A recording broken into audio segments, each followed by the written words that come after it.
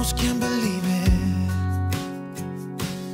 Every time we touch, I feel at home. There's no way I'd ever let you go. Will you put your hands in mine? I know I'm gonna be alright. Sache. I don't know what you do to me, but I. Das hat absolutes Karibik-Feeling für mich. Schaut euch das mal an. Hallo und herzlich willkommen zu unserem neuen Video. Wir sind gerade beim Uphill auf den Utschka. Genau Richtung Malautschka. Also wir queren einen Utschka-Gipfel halt unten durch. Das ist die Istren Tour 8, glaube ich. Die ist überall auf der Karte vermerkt. Und von Malautsch geht dann ein Trail Richtung mit Wehreuche. Also richtig eine coole Sache. Ähm, ist ja teilweise Lost Place mäßig drinnen. Und von der Schwierigkeit, ja, mittleren Bereich, obwohl es da rund nicht zu unterschätzen ist, wie gesagt, wenn es regnet. Weil dann werden Ja, wenn es nass ist, ist böse. Wie am Gardasee. Wer schon mal Genau. am Gardasee war, der so, kennt so sich. Da, ja. Genau. Wir fahren heute mit den E-Bikes, weil der Uphill dann ganz anders zum Gestalten ist. Was da runter zum Aufpassen ist mit dem Uphill, schaut sich wirklich die offiziellen Wege an. Weil wenn es da wegkommst von den Hauptrouten, das sind wirkliche, wirkliche Karrenwege. Also das ist in Istrien oder in Kroatien generell die Sache, dass halt einfach das nur so Schleifwege sind. Also da ist dann teilweise zum Firmen, ja. Und weil auf Martin und Vicky schon die Badebucht wartet. Die lieben nämlich auch am Meer. Das ist die Auffahrt auf den Utschka und man hat immer wieder göttlichster Überblick übers Meer. Es ist echt mega schön. Und es schlängelt sich hier so hoch über Olivenhaine, kleine Wohngebiete. Also es ist wirklich ein geiler Uphill. Und super einfach, weil auf Teer. Hier wird gerade nochmal fotografiert. Die Bilder findet ihr natürlich wie immer bei uns auf dem Blog www.freerideinc.at oder natürlich auf Facebook und Instagram auch immer unter Freeride Inc. Austria. Und ja, da drüben sieht man dann Krick und Kres. Und wir sind in der Quaner Bucht. Jetzt schon wieder krass steil rauf. Mit dem E-Bike ist es aber eh wurscht. Aber fahren wir da gleich steigen, also dem her ist es steil, ja.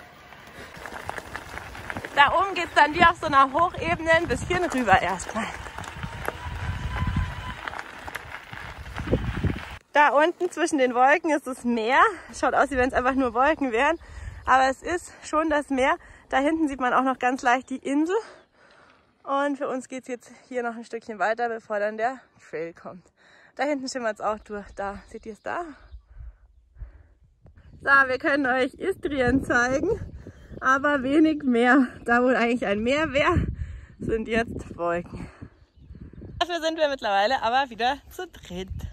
Die war nämlich vorher schon voraus. Quaner Bucht sehe ich mal leider nicht, aber ein paar Fotos haben wir einblenden, vielleicht vom letzten Jahr. Kann man machen. Genau. Das haben wir ein Video eingetan, also da läuft das Video, dann kommt ein Foto und dann läuft wieder das Büttel weiter, oder?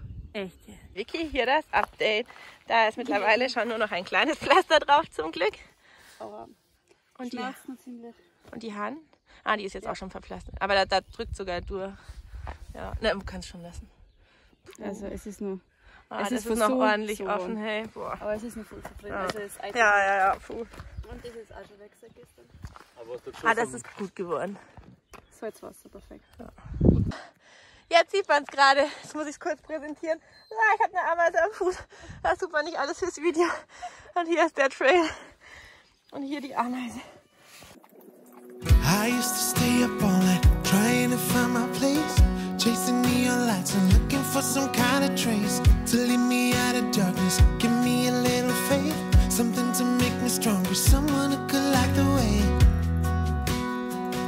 Then you came to me and you gave me reason. Uh, mm, mm. I almost can't believe it. Every time we touch, I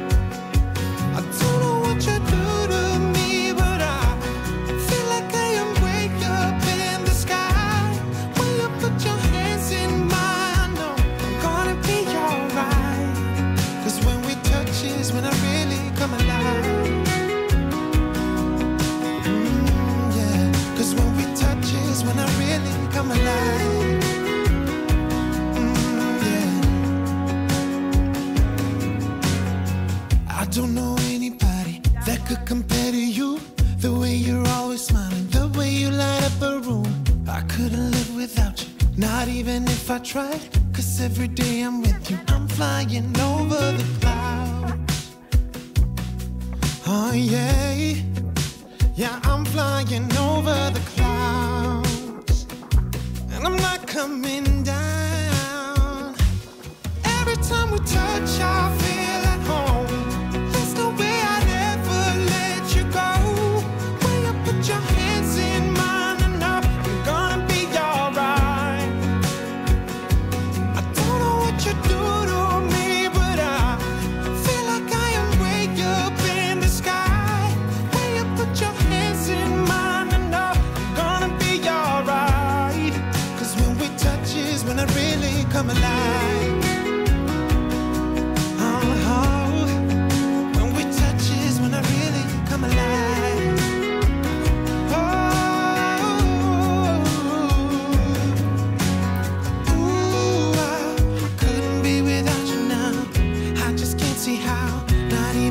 I tried. Ooh, I, I couldn't be without you now.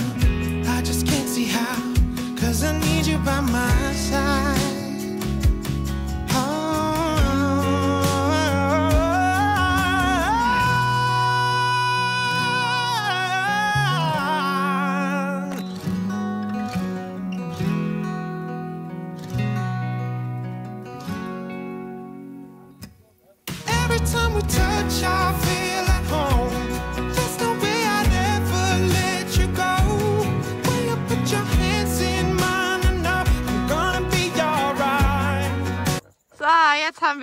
wirklich den Ausblick.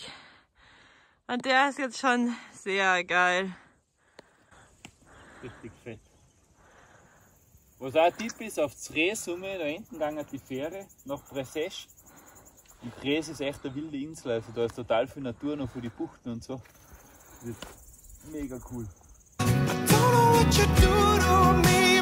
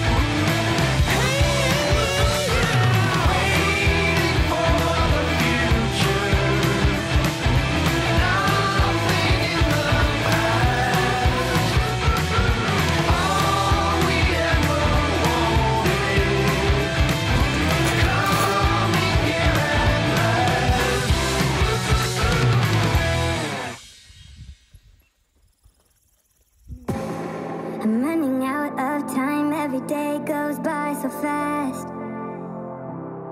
And every moment counts, baby, I don't wanna miss a thing.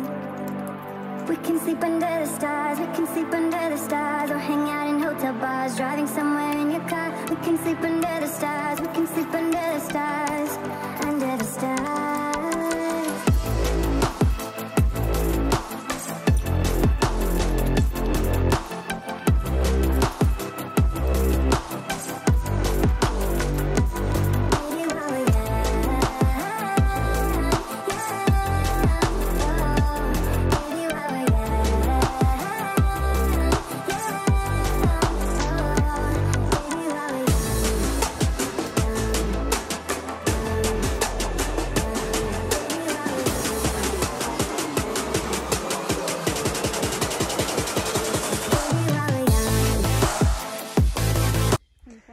So, diesmal haben wir wieder einen Platten und wir können aber froh sein, dass wir nicht tubeless fahren in dem Fall, weil Die Karkassen ist auch geflogen.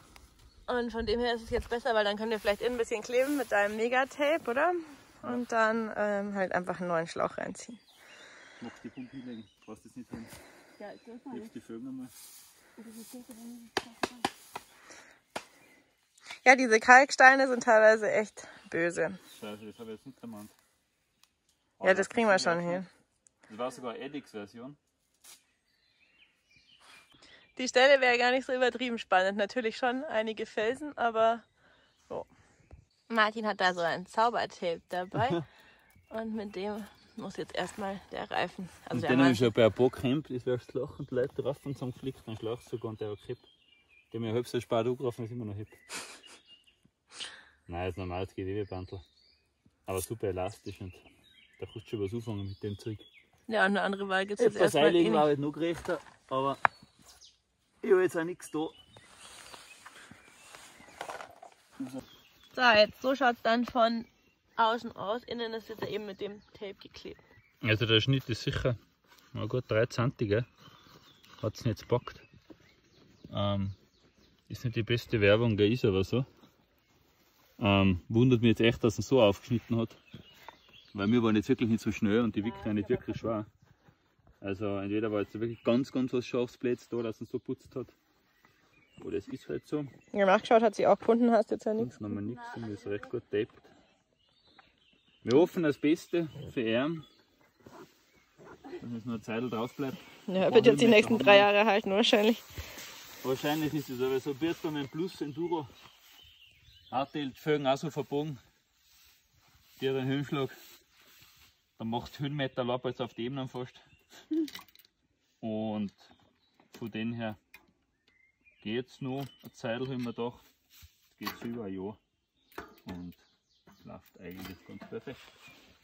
Und das ist auch der Grund, warum wir nicht tubeless fahren. Eben wie der Martin gerade sagt, nicht nur, weil sowas eben passieren könnte man, man ja, äh, und man jetzt deutlich aufgeschmissener wäre, sondern eben auch, wenn man die Felge ein bisschen verbiegen sollte, dann hebt die Luft beim tubeless natürlich auch nicht mehr. Und mit Schlauch ist es oftmals kein Thema. Da kann es passieren, dass die Felge verbiegt und man nicht mal einen Durchschlag hat, wenn man ein bisschen Glück hat. Weil wir natürlich doch die schweren Schläuche fahren normalerweise für Plusbereifung. Und ähm, dann Und aufpassen an die Konvoi-Fahrer, das Gegenwind steckt ja nur mit einer kleinen Mutter drinnen. Bei euch stecken, wenn ich die jetzt. dann fliege ich die ja, gell? heißt zu. Aber ist Gott sei Dank nicht grün. Ja. Fall. Sehr geil, wenn die Ein. Tipp lackiert die rot. Oder pink. Genau, oder pink. Ja. ja, dann haben wir es, oder? Ist jetzt fest. Nein, muss ich reinstellen. Die muss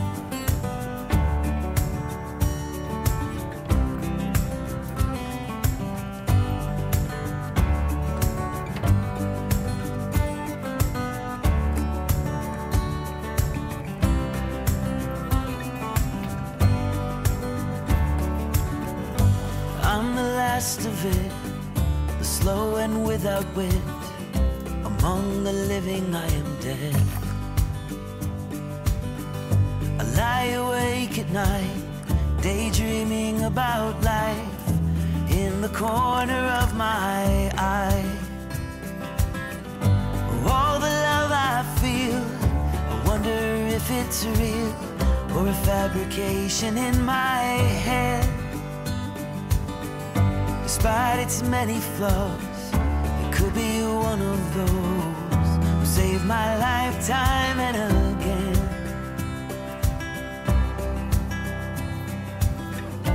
Another hero standing by the bed as I wake up.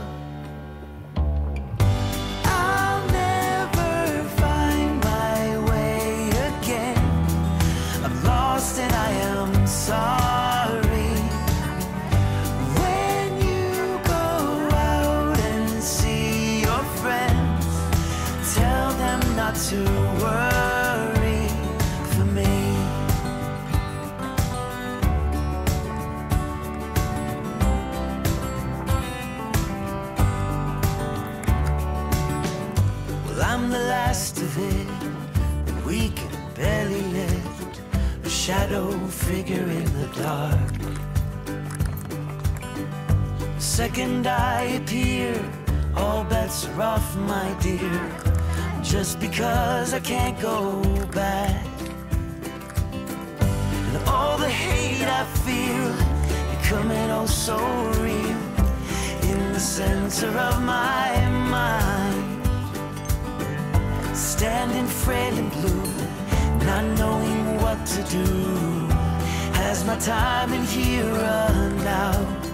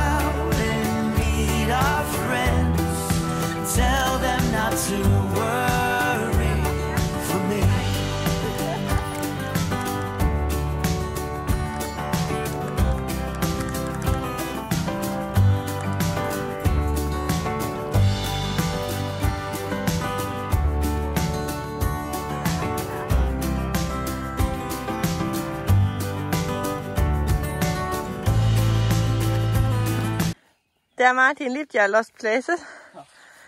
Und Kirschbaum, Kirschbaum liebe ich auch. was die hoch. Probier halt. Immerhin ist Juni.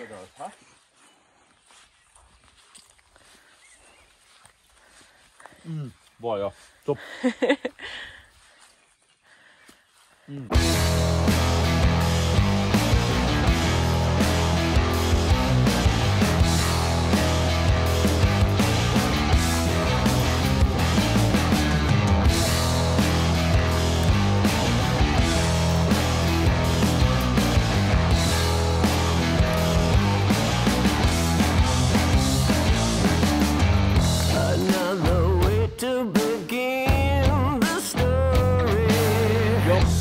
I hund. Ah, det er gett, så sakker.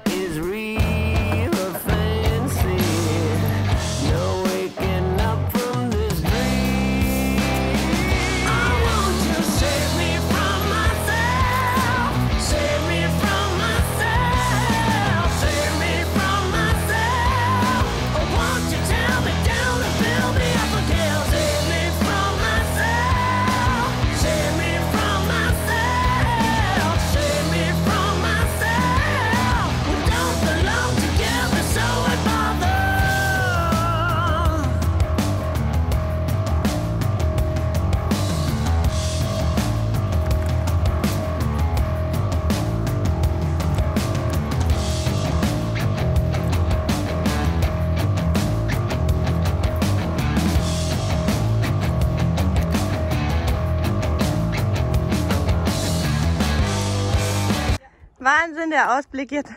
Da hinten ist dann schon Rijeka, was man jetzt so groß sieht. Ah, so warm ist es.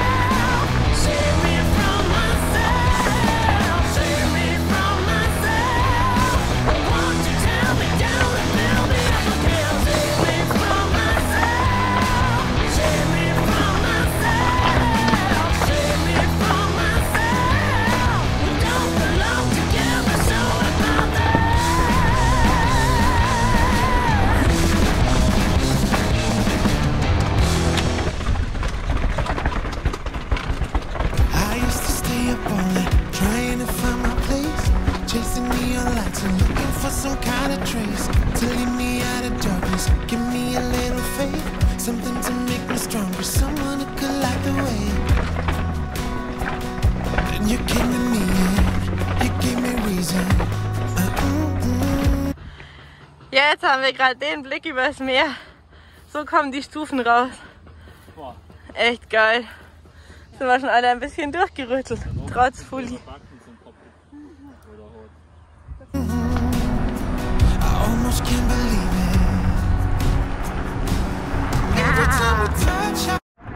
So, unten sind wir. Für die beiden geht es jetzt an die Badebucht nach.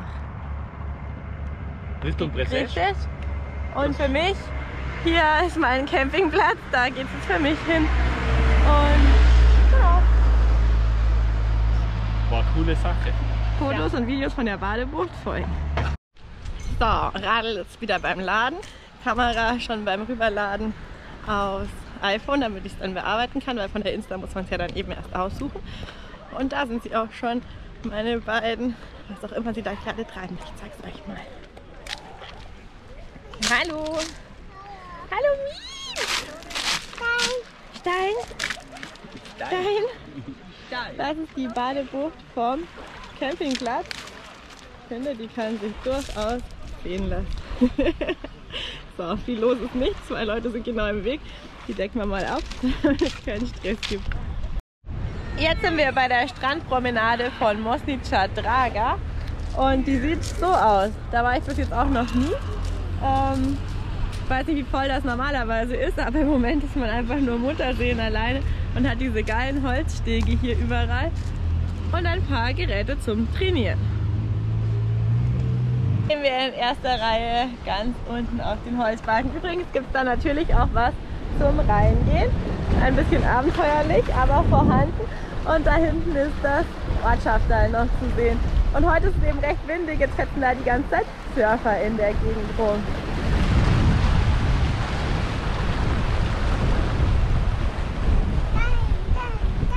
Und mein Kleiner möchte die ganze Zeit Steine ins Wasser werfen. Jetzt haben wir hier noch eine nette Beachbar entdeckt. Ich weiß natürlich echt immer nicht, wie viel hier normalerweise so los ist. Aber im Moment ist gar nichts los. Und das hat absolutes Karibik-Feeling für mich. Schaut euch das mal an. Wahnsinn, oder?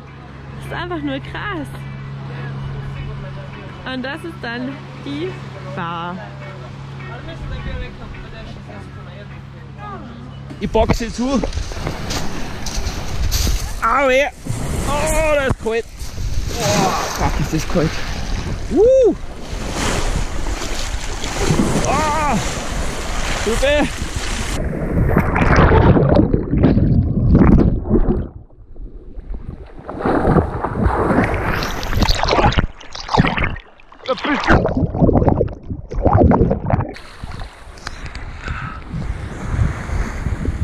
hab's überlegt. Zum Abschluss hocken wir jetzt wieder alle zusammen bei einem quasi isotonischen Getränk. Zählt das jetzt auch? Vermutlich, oder? Für mich ist es ein Gerstensaft. Gerstensaft und Chips. Die gehen nicht oben, oder? Ist du Alle den Füßen, oder? Ja. Von der Winkel sind die Füße so sauber, die ist für die Füße sauber. Ja, damit hoffen wir, es hat euch gefallen. Lasst uns gerne einen Daumen nach oben da. Ja, der Nachwuchs schreit jetzt nach Essen, deswegen tschüss, bis zum nächsten Mal.